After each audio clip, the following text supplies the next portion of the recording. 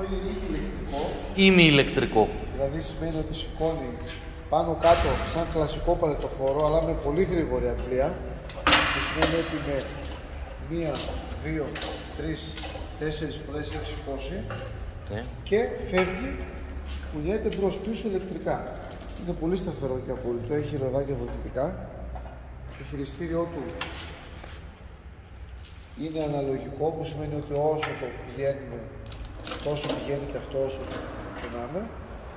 Έχει και αυτό που τον ασφαλείας εδώ πέρα να κουμπίσουμε να σταματήσει. Ένδειξη μπαταρίας. Ένδειξη μπαταρίας εδώ πέρα και κόρνα. Και είναι πολύ σταθερό λόγω ότι έχει τα ροδάκια, τα οποία έχουν και αμορτισεράκια, οπότε δεν εμποδίζουν. Αν βγει και σε λίγο πιο τραχαία έδαφος στο παλαιποφόρο.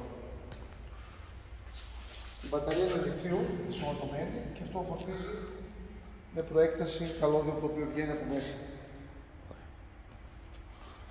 Έχει κλειδάκι για τους χειριστές και μπουτόν on-off γενικό.